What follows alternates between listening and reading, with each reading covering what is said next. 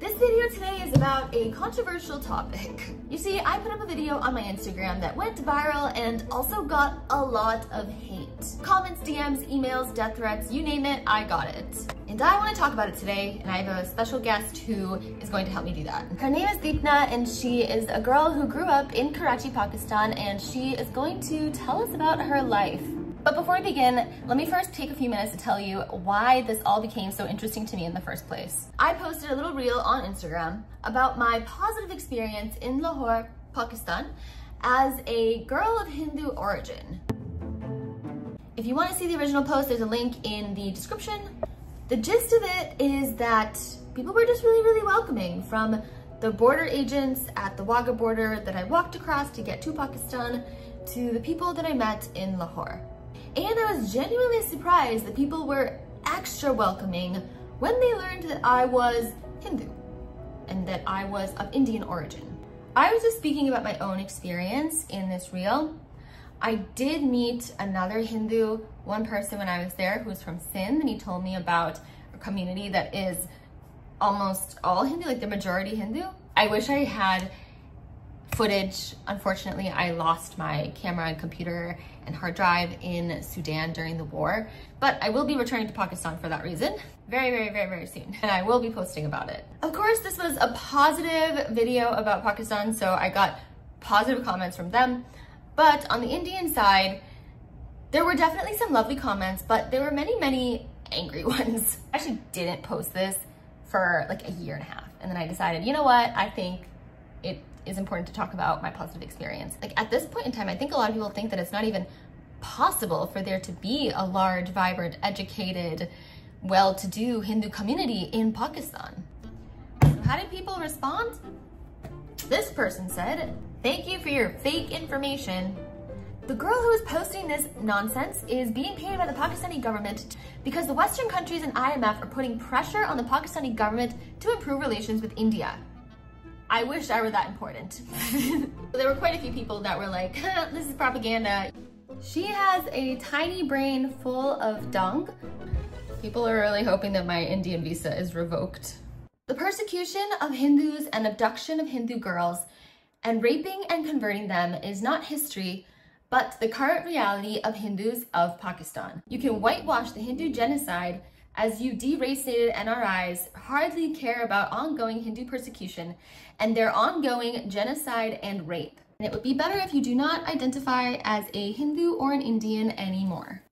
Of course, the tension between India, Pakistan, Hindus, Muslims runs deep, and I know that. But what really got me and what really made me want to dig deep into this was this widely cited statistic that so many people messaged me, commented with, and it's patently untrue that there was once 22% Hindus in Pakistan, and now there are 1.8%. Where did they disappear? This is obviously a sign of genocide. I saw statistics, so I had to look it up because that's what I do. And when I did, I saw that it was misinformation. It really upsets me that in this day and age, in the modern world where information is so readily available at our fingertips, it's so difficult to know what the truth is. What is the truth about Hindus living in Pakistan? Do they exist? And if they do exist, what kind of lives are they living? This isn't an easy question to answer because there isn't one answer. When you think of Hindus in Pakistan, you think of oppression, forced conversions, forced marriage, rape, kidnappings, etc. Now, these things are definitely happening, and not just to non-Muslims, to minority Muslim groups as well. However, there seems to be a positive narrative that's not being told.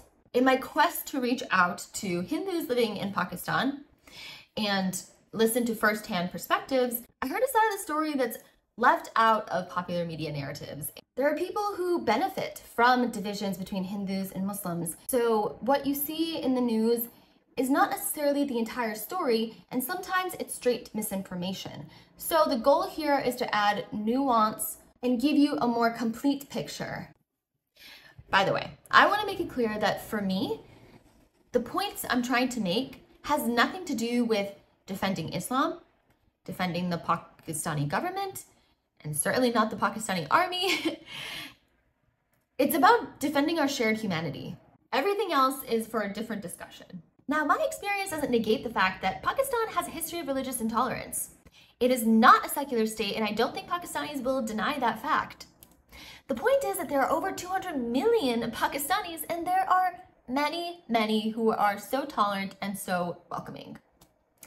From a national security perspective, yes, India has to be cautious and vigilant, but from a humanity perspective, we shouldn't let the actions of a few justify hate of an entire group. There are 200 million something people there. It's a very, very big country and there are many, many tolerant and welcoming people. And I think it is so important that we acknowledge that and that we promote that, we engage with that, we ally ourselves with those people because those are the ones who are going to create the reforms that are needed in society. So I put up a story on Instagram and said, hey, Hindus of Pakistan or anybody who knows Hindus of Pakistan, please reach out to me, tell me your stories. And Deepna connected with me and she's public on Instagram, so I see her posts and whatnot. She's got like 30,000 followers and she went viral because she was posting about doing Hindu things as a Hindu girl in Karachi.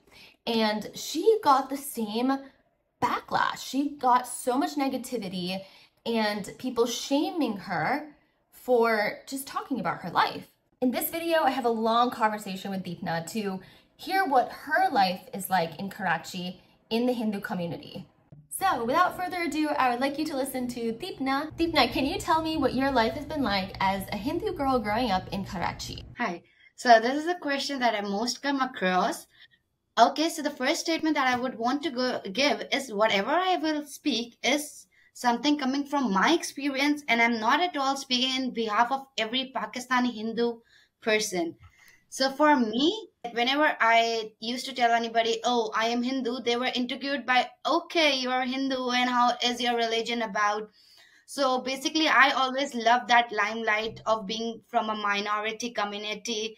And when people were like so much concerned about me, my safety, and about my festivals. So it was always so fun to let people know how my religion is and to specially, you know, remove the misconception that people generally have there that is driven from the media, the uh, the politics, and everywhere. Okay, so let's say that it is a Hindu holiday and you're in Karachi and you are going to celebrate. What would that be like? Yeah. So one thing is like I live in a community that is all about Hindus. So like in pre-partition, there were Sri Swaminarayan temples across across South Asia. So one of the Sri Swaminarayan temple is still in Karachi, and it is one of the largest practicing and believing Hindu community that lives there. So all around the community, it's Hindu families, and in between there is a temple and a ground. So all the people from the Karachi visit that temple during the festivals.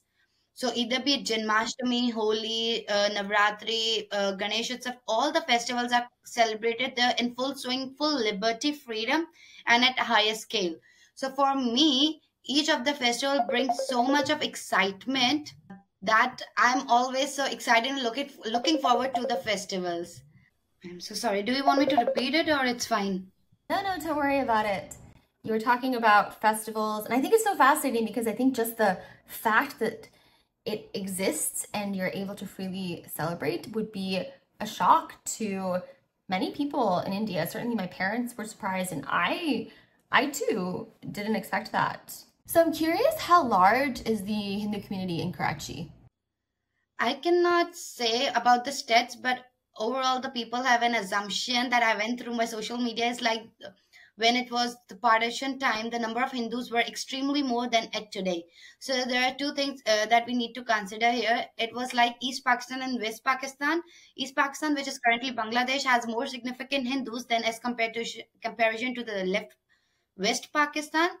And yes, the number has decreased, but the reality is there are still so many numerous Hindus living in Pakistan especially in Sindh, interior Sindh, and in Karachi, in uh, different region of Karachi. So there are many because uh, initially uh, Indians were so surprised to know that okay, Pakistani Hindus do exist. They just don't exist, but they exist in such a numerous and a larger quantity. Because in my family, my friends, everybody that I know around, there's only two to three stories that I've heard about people migrating to India. But so far, my ancestors are from Pakistan.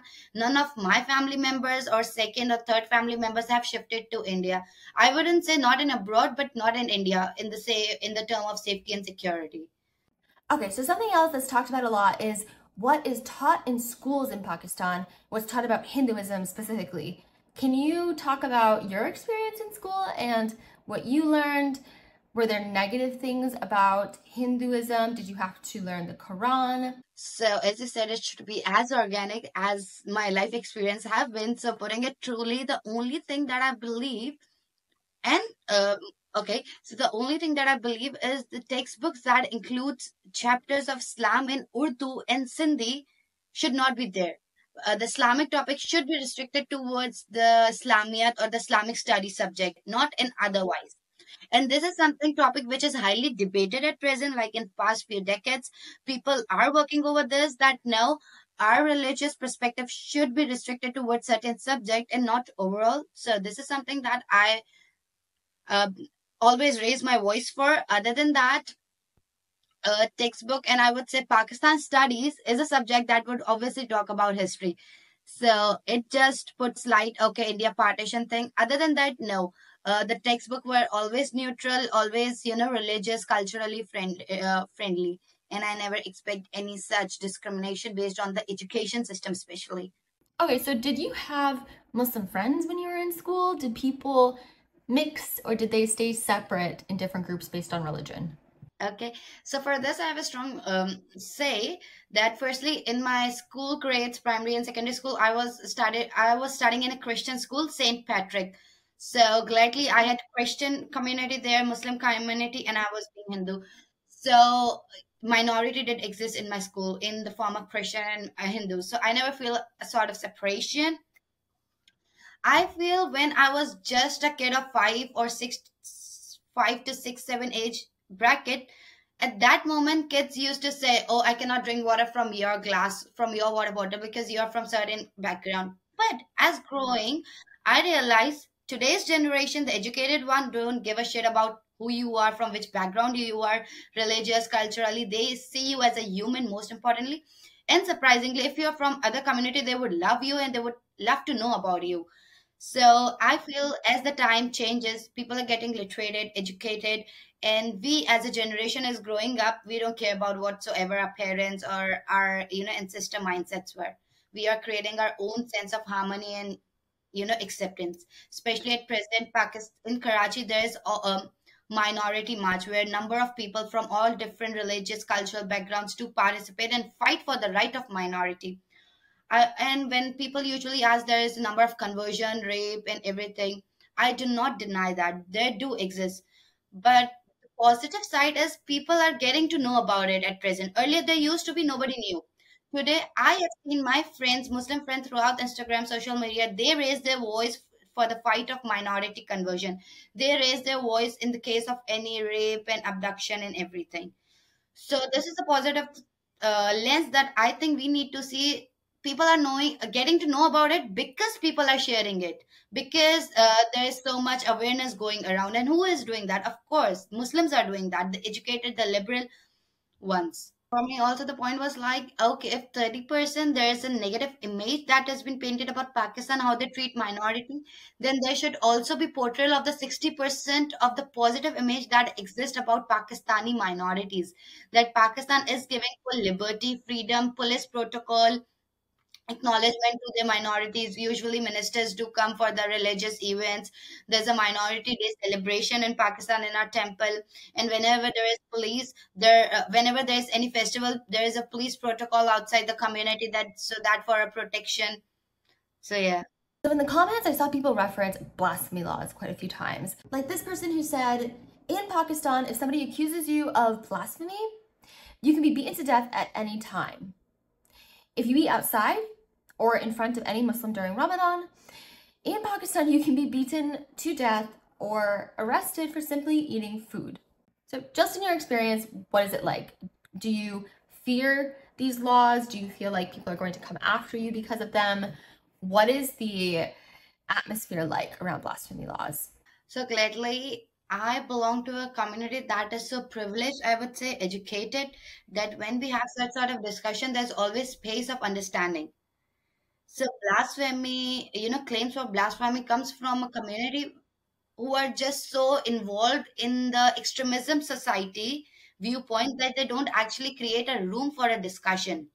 So personally, when I speak with my Muslim friend, give viewpoint about their uh, under, uh, religious understanding, as shares my share my belief, I personally never experienced that. Again, because I belong to a well liberal educated background. Given that we have always seen a blasphemy case in Pakistan that creates hype within a night, and the issue is something else, and that turn out to be something different. This is a real problem, and that blasphemy has a ripple effect in a sense that for a day or two we get more secured about our society that okay we should be concerned about something that has happened somewhere. So this is a problem again. I would want to say like i remember past few cases the blasphemy was not proved so the all the educated people on the social media uh, started a campaign that please do research. Do not make more fear about our minorities. They have a life to live. So again i would say there's you know up and down balance going on that there's this part of society that wants to bring so much of hatred in the name of religion.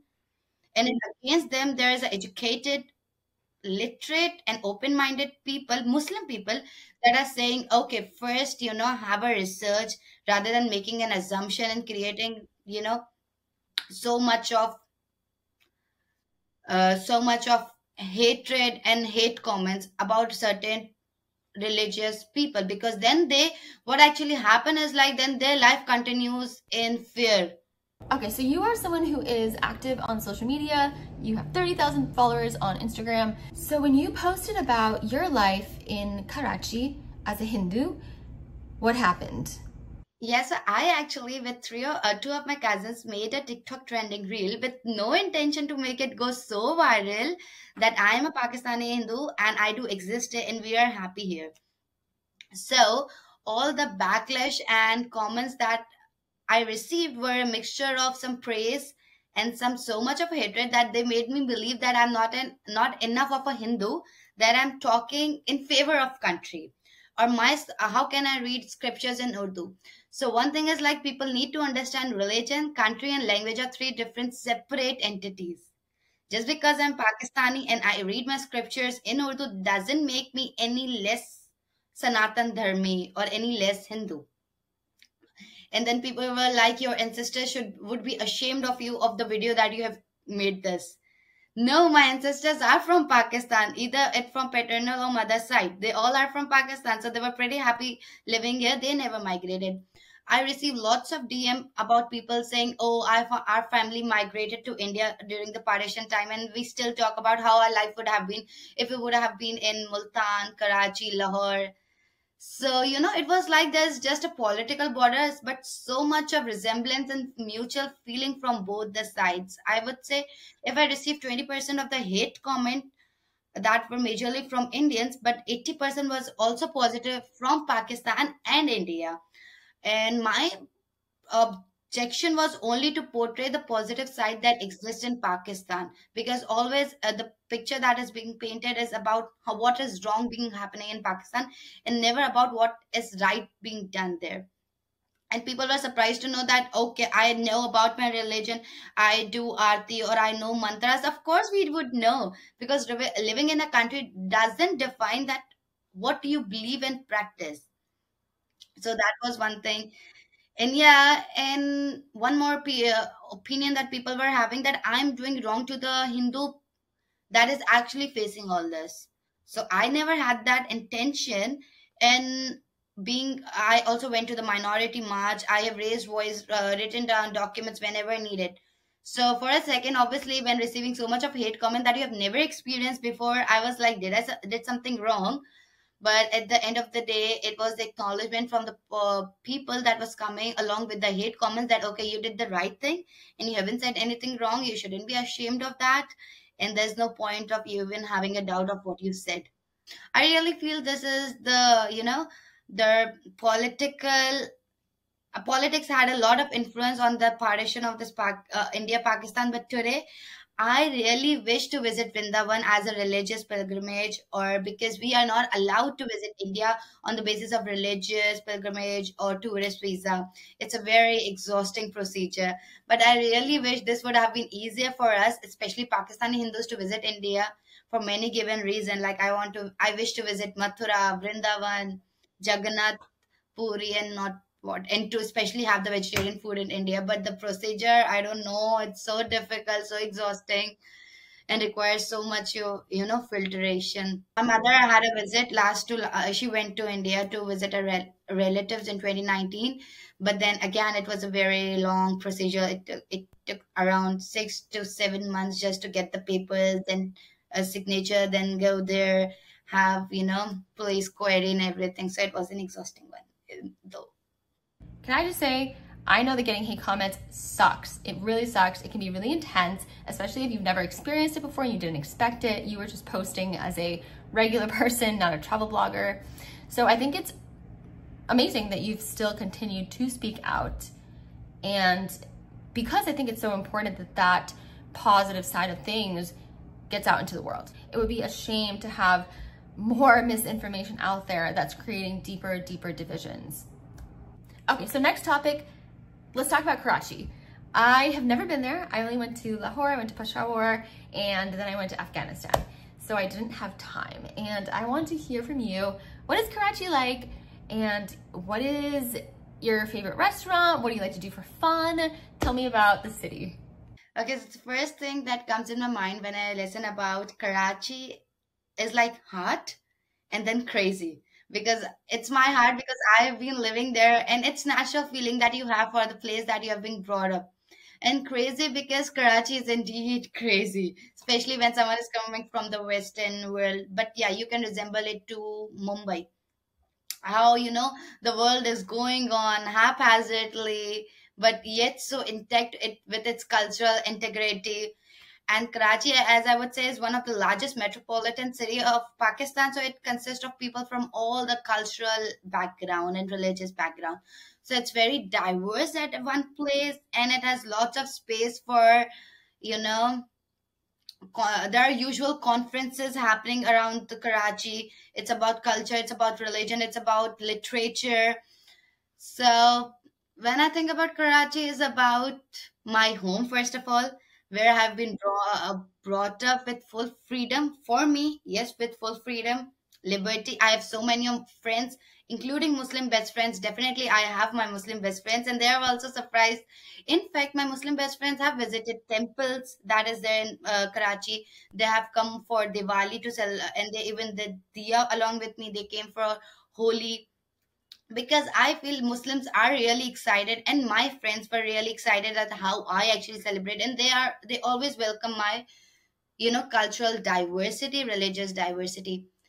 So definitely, Karachi is something that you know makes me emotional, not like a very emotional, but okay, yeah, it's home. Especially when you live abroad, then you realize the real feeling and connection with your city, the language, the haphazardly it's growing haphazardly but yeah. And as far as the food is concerned i'm vegetarian. So this is one thing that i really feel that yeah pakistan is a muslim state which is why it has a lots of uh, non-vegetarian dish items in the menu everywhere be it street or cafes. So this is something that really give me a hard time finding vegetarian options in karachi but obviously i found out my ways that okay i can eat pizza without chicken or uh, pasta without chicken. So but still the street food like pani puri chaat we always have something in our mind okay this street is something i would want to have the food from. And i belong to you know the post uh, the post pre-partition era of karachi which is consists of historical buildings that all the development that britishers also did so that part of the Karachi also has its, you know, references towards Hinduism in itself. For example, there's a place Bunder Road in Karachi, which is very famous. So the grill of the uh, the balcony grill of the houses still has Om and Ganesh sign in itself, because that was about that were the houses of the people Hindu people living in pre-partition. So the old Karachi that I live in speaks about the history and pre-partition era and the old architectural sites.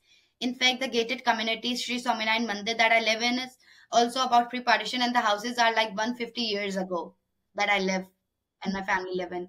So I feel like uh, when I talk about Karachi, I also carry a perception about the pre-partition Karachi. In fact, you know, in the British era, when there was British Raj, Karachi used to be so clean and so you know environment friendly that people from the England used to visit Karachi just to have the warm water of Arabian Sea, just to have that experience. Likewise, Mumbai and Karachi were the two main port cities, gateway to you know subcontinent. So Karachi has its own diverse history, culture, uh, religious bindings, ethnicities, and whatnot. That's so exciting. Your excitement is getting me excited about returning to Pakistan. I will definitely go to Karachi. So excited. And thank you so much for coming and talking to me today. Uh, it's, it's an honor, it's a pleasure, it's very, very informative. Thank you so much. I hope I can see you in Pakistan. That would be so cool. If you plan to visit Karachi, do let me know because I'll go in December. But if you go before that, if you need any help, I have like cousins and of course a lots of family members that could help you. And if it's in December, then I would be there personally too. So it would be a good chance. Oh, wait, I forgot. I wanted to ask you about what it's like to be a woman in Pakistan. Can you talk about that? So, of course, uh, without any, you know, putting it in a decorated form, being a woman in Pakistan is definitely tough in the sense that uh, pa- uh, Pakistani women don't ride bikes as in India and around the world. So they usually rely either on the public transport, which is very pathetic, or on you know private cabs and private autos which obviously cost us more if we see it through a lens of everyday traveling. So trans- in terms of transportation pakistan is bit difficult and like if i have to wear a dress uh, being in germany i can wear however whatever i want. But in pakistan i have to have certain boundaries to how i dress up especially like okay if i'm wearing something you know western sort of dresses like jeans top it would be more comfortable if i drive with my own private car.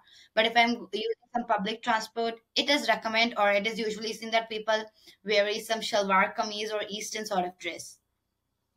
So your dressing is very much decided by the society. I mean it's okay if i go and wear the western. Nobody would say anything to me because they're not allowed to but you know all the gaze that eye gaze that goes through the stairs that's very that's very you know not so good to have.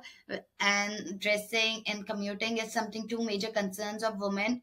And again i would say that since i think i'm privileged enough to born in an educated higher middle class family i had lots of privilege in terms of education what i choose the degree i choose uh, the partner I choose and everything. But there's a large number of people living in the st- still stuck in the patriarchal society of Pakistan.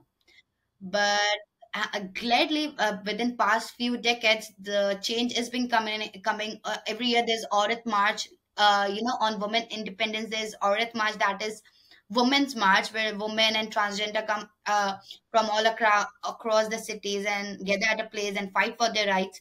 So these are the changes i would say pakistani society is in its transitional mode at the moment where people are relatively fighting a lot about their rights.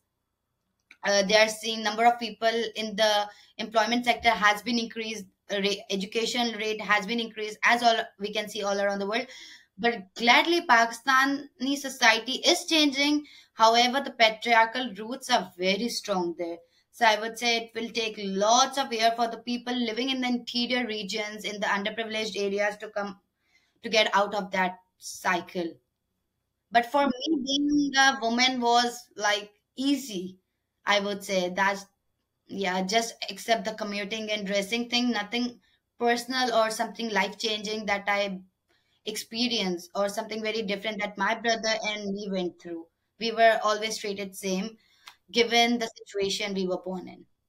Yeah, same in India as well. It's definitely not as easy being a woman, but it also, you know, depends on where you are, of course. It's very, very different walking around Mumbai and in a certain neighborhood like Bandra would be very different than say somewhere in Delhi versus somewhere in a rural area where it'd be like very, very, very conservative. And, but you know, and regardless, uh, on public transport, I can't imagine myself ever wearing just what I would wear in a Western country. Like, definitely would not be wearing any of this. I cannot imagine that. But in this matter, Karachi would be far better than Lahore. I, I can say, I can guarantee you. Yeah. Because being from Karachi, even uh, visiting, you know, when you'll visit Karachi, you'll experience a lot of difference in Lahore and Karachi also. Maybe you could do that. Uh, you can have a difference in Delhi and Mumbai. Likewise, there's a difference between Lahore and Karachi as well. So being from Karachi, you would feel having a different surrounding, even if you are in Lahore although it's the same country. So I think Karachi would give you a better experience. I bet on that. Let's see how it turns out to be. In Lahore, I think I feel pretty good walking around as a woman. I didn't feel that weird, but at the same time, there was definitely a lot of staring. I just think I've become kind of immune to it. Like I don't notice. so yeah, so whatever you wear, that staring would be there, especially given in which neighborhood again you are. Interesting. Yeah. So then I went to uh, Peshawar, and that was definitely much more conservative, but it wasn't as bad as people told me it was going to be. Like, and I didn't wear a hijab, and I feel like the staring was just equivalent. yeah, no, yeah, yeah. Being a Hindu, I never wore any hijab because that's not something mandatory, and that's something that that is not integrated in my beliefs. So this is just a stereotype mentality that wearing a scarf or headscarf, no, no, no, that's completely okay to wear it. And also because Karachi is such a larger metropolitan city, so it has to create a space for every, you know, diverse dressing and everything in order to grow and grow. Okay, now I will actually let you go. Thank you so much. Bye. I found that conversation really interesting. I hope you did too. I would like to say that I did not search for positive viewpoints, but the people that replied to me did have positive things to say. And I think that one, the people who are going to be on Instagram watching this reel, watching my stories are going to be the more educated people. I think also these people who might feel like their side of the story in Pakistan is not being told would be more likely to reach out and want to talk. I got messages mainly from people who were positive. I chose to talk to Deepna because she's already public and you can verify and actually like look at her Instagram and see Hindu celebrations happening and all of these things. Something to also keep in mind is that anybody in Pakistan who is not from a wealthier community is struggling because Pakistan is struggling as a nation economically and politically. The Pakistan army is very, very powerful. So I, I read this saying that the Pakistan army has never won a war never lost an election. uh, yeah. I know this was a different style video. I hope you liked it. I have a podcast actually that I've done a few episodes for, Lost with Lakshmi, and this is going to be a podcast episode. All right, there are some things I'm supposed to say, like, um, you know, leave a comment, like, subscribe. I put out videos every week or every three months, you know, give or take. All right, thanks guys, bye.